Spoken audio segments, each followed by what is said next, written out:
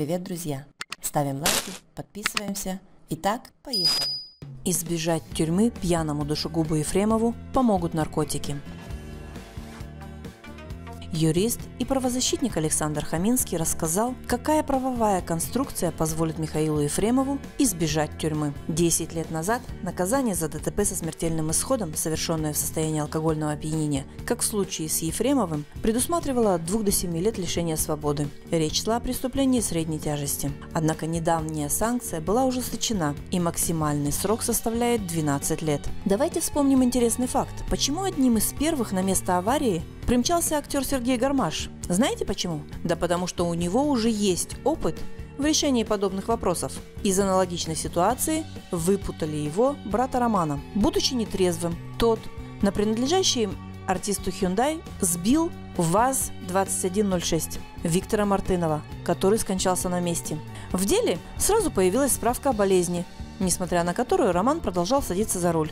Впрочем, приговор все же вынесли – три с половиной года колонии поселения и возмещение морального ущерба семье погибшего. В колонии Роман провел всего неделю, а потом был срочно госпитализирован почти на полтора года. В другой колонии поселения, рядом с дачей брата, осужденный погостил совсем недолго, отбывая время от времени в больницу. И тут срок подачи прошения об УДО подошел. К концу 2013 года Роман Гармаш был освобожден. Очевидно, был расчет провести по подобному сценарию и дело Ефремова. Но схема больше не работает.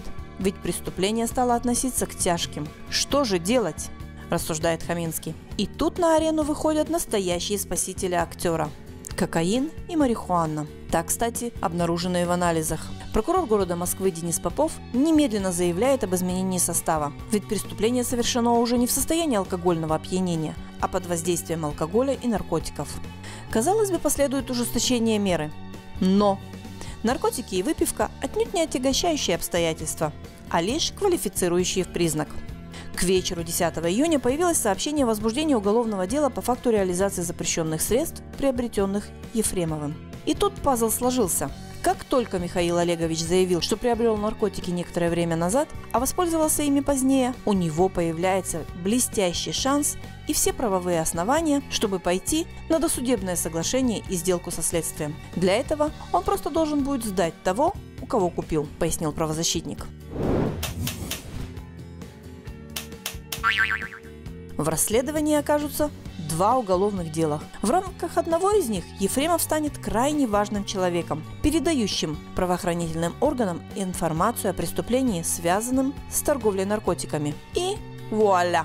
При досудебке суд вправе, хотя и не обязан, назначить ему срок, не превышающий половину самого большого срока – смягчение наказания. Это, допустим, 5 лет. И что же, Тяжкое преступление моментально становится преступлением средней тяжести. Можно будет сразу подавать в Мосгорсуд и заявлять «Я не согласен с пятью годами. Я старый, больной, чуть не повесившийся наркоман. Делайте со мной что хотите. Применяйте все предусмотренные статьи и санкции, только не сажайте в тюрьму. А в остальном согласен на все».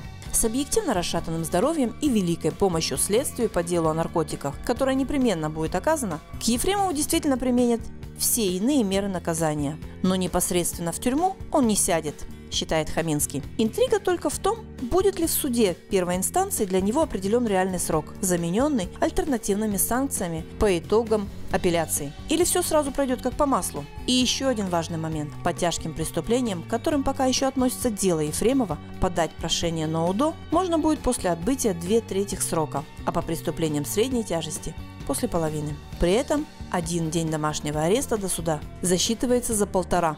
Итак, в условиях досудебного соглашения и сделки со следствием суд может назначить не 5, а допустим 4 или даже 3, 2. А теперь представьте, например, при назначении трех лет лишения свободы осужденному за преступление средней тяжести может быть произведена замена наказания в виде лишения свободы на более мягкое – в том числе условная. Замена производится после отбытия осужденным одной трети назначенного срока. То есть, если Михаила Олеговича приговорят к трем годам лишения свободы, перейти на условный срок можно будет уже спустя один год. А что такое год? Всего лишь нахождение под домашним арестом на протяжении 8 месяцев. Обычно от избрания меры пресечения до вынесения приговора проходит именно столько времени. Так что у Михаила Олеговича Ефремова есть крупный шанс вообще не сидеть. На выбор Друзья, как вы считаете, удастся ли Ефремову избежать реального наказания? И заслуживает ли он его? Друзья, благодарю вас за просмотр. Подписывайтесь на наш канал, оставляйте свое мнение в комментариях, делитесь видео со своими друзьями, ставьте лайки. Не забудьте нажать на колокольчик. Впереди вас ждет много интересного и захватывающего. И до встречи в новом видео!